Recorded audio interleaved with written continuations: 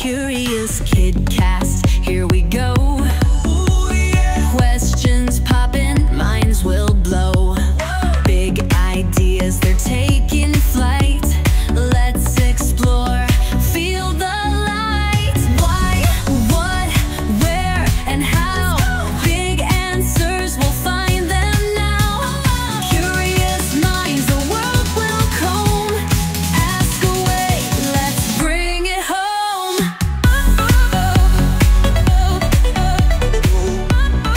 Hey there, curious kids. Welcome back to the Curious Kidcast, where we answer the questions that make your brain do gymnastics. I'm Andy, and today we've got a brilliant question from Oliver in Bristol. Now, Oliver was eating a slice of watermelon at his cousin's birthday party when he accidentally swallowed three seeds in a row. And his older brother told him he'd wake up with a watermelon vine coming out of his ears. Naturally, Oliver panicked and sent us this question If you swallow a seed, will a plant really grow in your stomach? Brilliant question, Oliver, and I've got good news for you. Your ears are safe. But let's dig into this juicy topic, shall we? So, first things first. This story is ancient.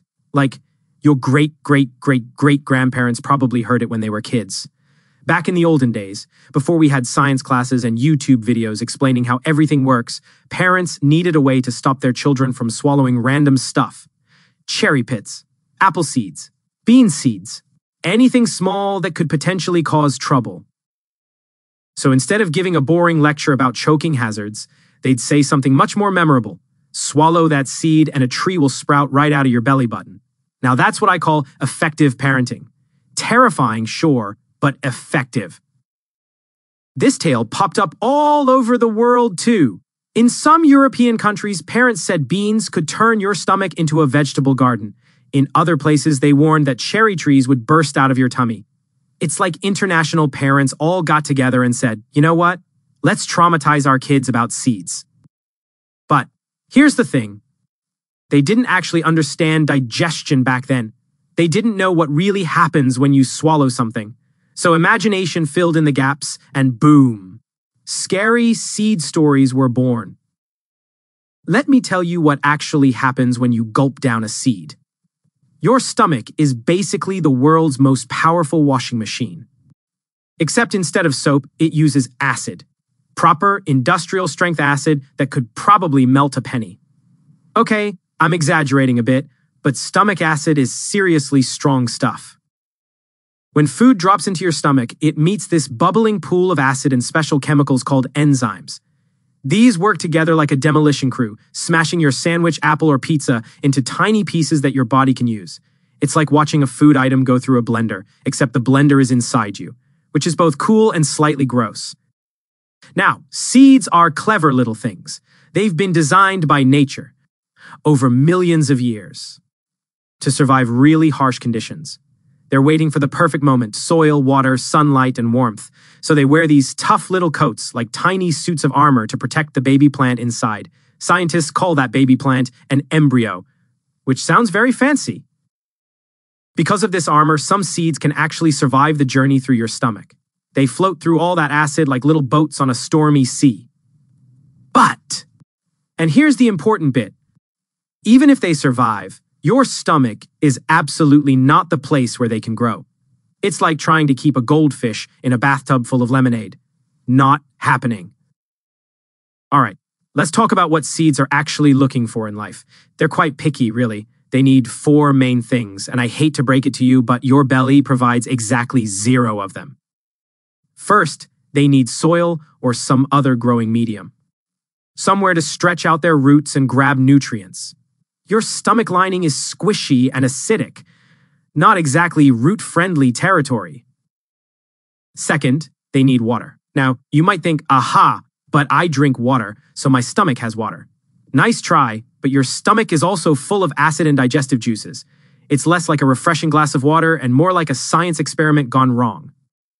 Third, they need sunlight. You know, that bright yellow thing in the sky? Unless you've swallowed a torch, which please don't do. There's zero sunlight inside your tummy. It's darker in there than a cave at midnight. And fourth, they need air and oxygen. Plants breathe too, just like us. but your stomach is sealed up tight with no fresh air allowed in. It's like trying to grow a plant in a locked cupboard. So even if a seed somehow survived your stomach acid, looked around and thought, right, time to grow, it would quickly realize it's in the worst possible hotel ever. No room service, no windows, and definitely no chance of sprouting. The little plant embryo inside just stays asleep. On permanent vacation. Here's something fascinating though. Some seeds actually do survive the trip through your digestive system. It's true. In fact, some animals, like birds, monkeys, and cows, eat seeds on purpose, and those seeds hitch a ride through their stomachs and come out the other end. And I think we all know what the other end means. We're talking about poo, folks. Nature's fertilizer. This is actually part of nature's master plan. It's called seed dispersal. The animal eats a tasty fruit, gets the nutrients it needs, and the seeds get a free ride to a new location. Then, when the seeds exit, and let's not dwell too much on this bit. They land somewhere new with built in fertilizer. It's genius, really. Gross, but genius. Humans aren't that different. If you swallow tiny seeds from berries or certain fruits, they might pass all the way through your system intact. So technically, you could poo out a living seed. But even then, unless you're planning to sit in a flower pot with plenty of sunlight, which would be very weird, that seed still won't grow into a plant. It needs to be in soil, not in a toilet. Trust me on this one. Let's get a tiny bit sciency, but I promise to keep it fun. Seeds have this amazing process called germination. That's the fancy word for waking up and starting to grow. It happens in stages, like a plant version of getting ready for school in the morning. First, the seed absorbs water and swells up like a tiny sponge. Then it breaks out of its dormancy, which means it wakes up from its long sleep. Next, it pushes out its first root, called a radicle. That's a funny name, isn't it? Radical. Sounds like a vegetable superhero. After that, the shoot starts growing upward, reaching desperately for sunlight. It's like when you wake up and stretch your arms toward the ceiling, except much slower, and you're a plant. Now, in your stomach, maybe. Just maybe. Step one could begin if your stomach was full of liquid. The seed might start to absorb a bit of water. But then what? The radicle has nowhere to go. There's no soil to push through. And the shoot definitely can't reach any light because, newsflash, you don't have a window in your belly.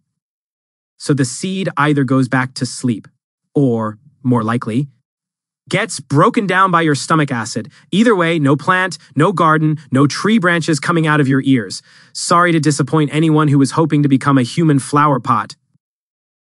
You might be wondering, Andy, if this story isn't true, why do parents keep telling it? Great question, imaginary child in my head. The answer is simple it works. Parents don't want kids choking on seeds or swallowing dangerous things. A long, boring lecture about the dangers of choking and digestive blockages isn't going to stick in a kid's memory but saying, a watermelon will grow in your tummy and you'll look like a beach ball. Now that's memorable. It's funny, it's weird, and it's just scary enough to make kids think twice.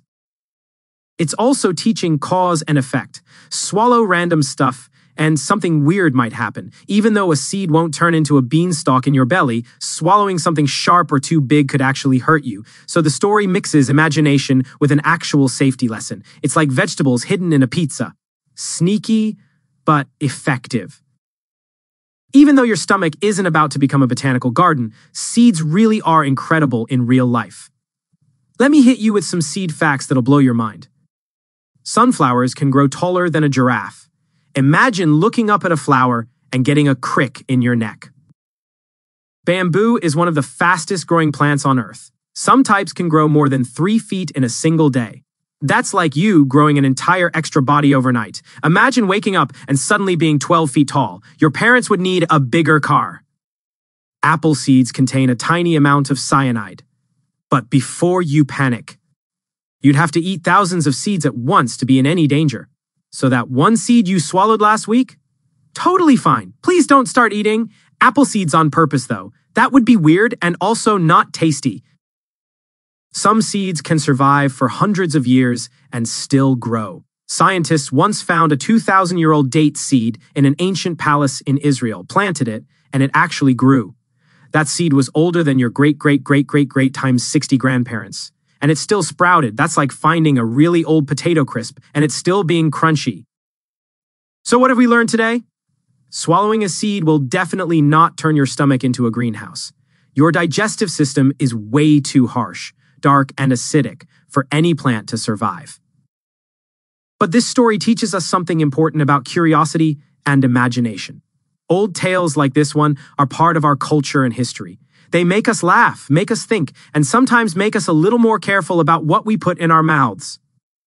Your stomach might not be a garden, but your curiosity can definitely grow into something wonderful, just like a real seed in proper soil. All right, curious kids, it's quiz time. I'm going to ask you three questions about seeds and stomachs. Pause the podcast if you need thinking time, or just shout the answer at your device.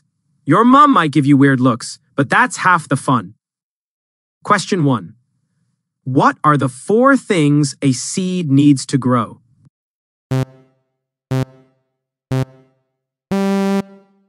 The answer is soil, water, sunlight, and air. If you got that right, give yourself a pat on the back. If you said a stomach, some acid, darkness, and no oxygen, well, points for creativity, but that's exactly what seeds don't want.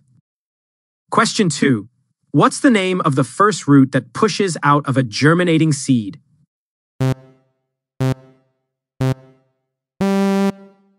The answer is a radicle.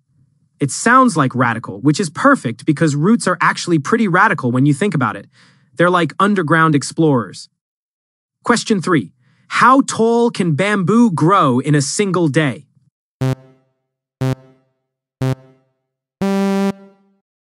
The answer is more than three feet.